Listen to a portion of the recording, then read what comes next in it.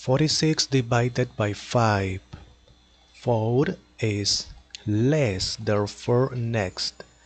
46 46 is not less therefore with 46 5 multiplied by which number is nearest to 46 but not greater. 5 multiplied by 9 is 46 45 okay? 5 multiplied by 9 45 is not greater. Okay 46 minus 45 is 1 next there is not number therefore complete always complete with 0 here with point okay 0 point.